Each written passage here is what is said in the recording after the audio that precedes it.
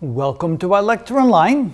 Well, if you still don't believe that the theory of general relativity is real, here's one more proof. It turns out that if we didn't account for the gravitational effects as well as the relativistic effects due to high speeds of the satellites, we would not be able to utilize GPS. We would not be able to find ourselves or any object that we're looking for accurately with GPS. So let me explain. We have a number of GPS satellites up in space. It's probably more than 30 now.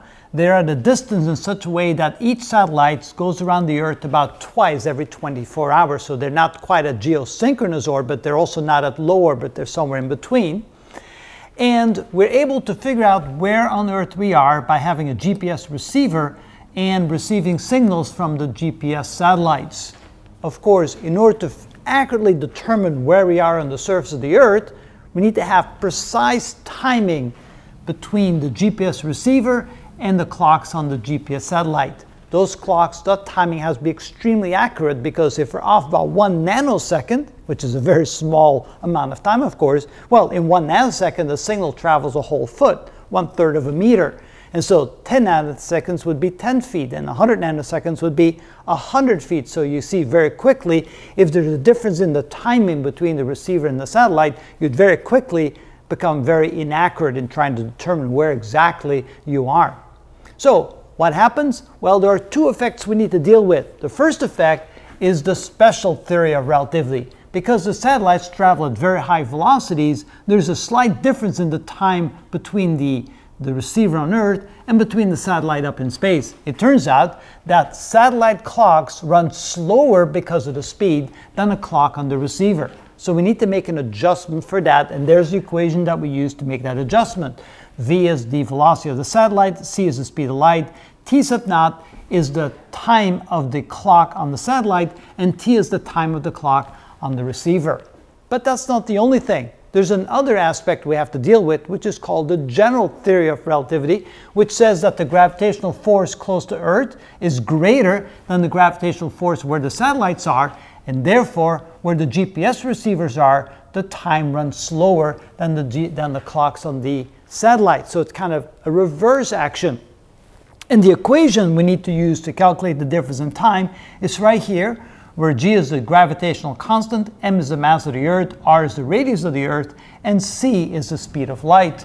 And so by calculating both, we can then make adjustments to the equations we use in the software on the satellites and the software on the receivers so that we can actually communicate and have that adjustment for the time difference. Otherwise, GPS satellites wouldn't work at all. So if we don't make the adjustments, the satellites, the GPS receivers would not be good at all. We'd we wouldn't know where we are for there would be large errors in the positioning of the receivers. But if we take the equations into account and we add that to the equations in the, uh, in the software, then all of a sudden the, the GPS receivers become very accurate and we can very accurately determine where we are.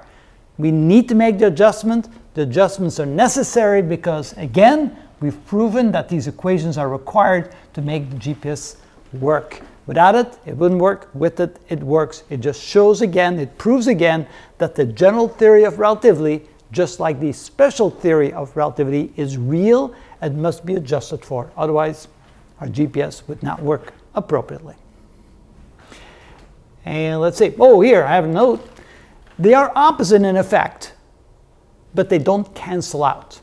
So they need to be calculated separately and added together. Now, if they were to cancel out, we could ignore it, but they don't cancel out. They are of different magnitudes, and so therefore we do have to take them into account.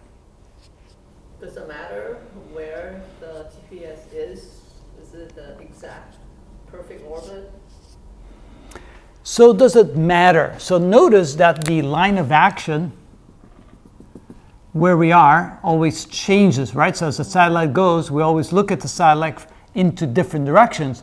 But the clock here is always going to be affected by the velocity. And that's going to be the same as long as the, the, the orbits are fairly circular. They're very close to being uh, nice circles. And so therefore, this always have to be taken into account no matter where they are.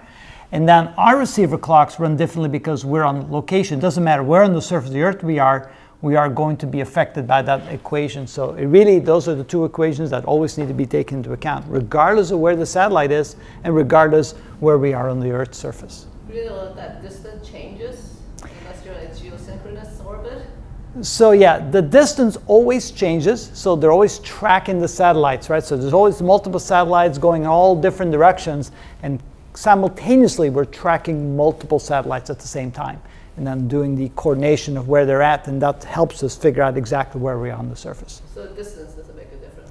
We account for the distance. So we, really well, but that's in different kind of calculations. That has nothing to do with the special or general theory of relativity, but it does have to do with the tracking algorithms, right? We have to acquire and track targets.